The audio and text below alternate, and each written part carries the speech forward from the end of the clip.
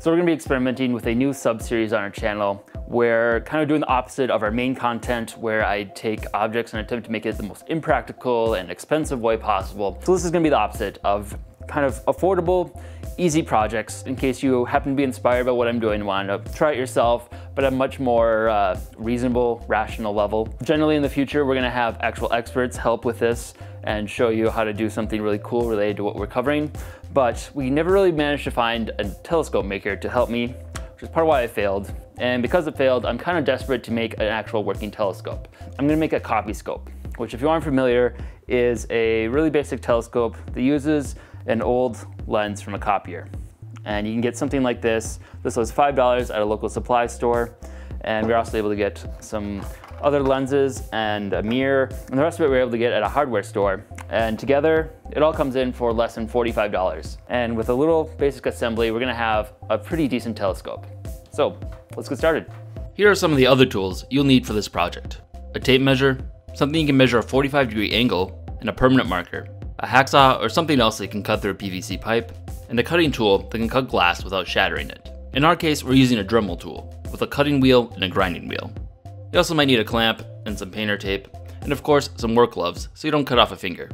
First off, we'll make a right angle adapter. This allows you to look through the telescope at a more comfortable angle. Take the PVC T-joint and mark a 45 degree angle. This is where the mirror will go, and will reflect the image from the side opening to the top opening.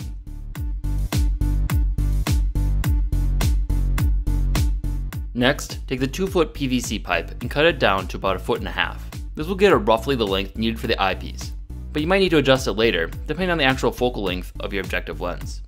Place the now cut T onto your mirror and mark the outline. This will be your cutting mark. Use a Dremel or other tool to cut the glass. It may be helpful to put some painter's tape over the glass and cut into that. This helps reduce the risk of glass shattering during the cutting.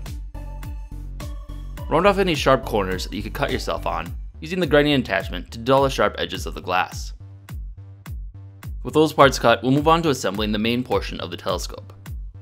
Combine the reducer piece and two couplers to form the middle portion of the telescope that will hold everything together while also allowing you to adjust the focal length. Next, take your black spray paint and paint the insides of all of your PVC parts.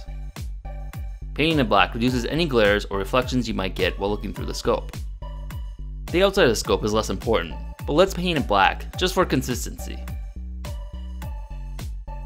Next, let's take the copier lens, put it into the PVC piece that was chosen for the front of the scope. Inside there should be a lip that the lens sits snugly on. Then fill in the cavity around the lens with Gorilla Glue, which will expand as it dries, securing the lens permanently. Next, let's glue together the pieces for the right angle adapter. Put a small line of glue along the bottom of the T-joint and affix the mirror you previously cut.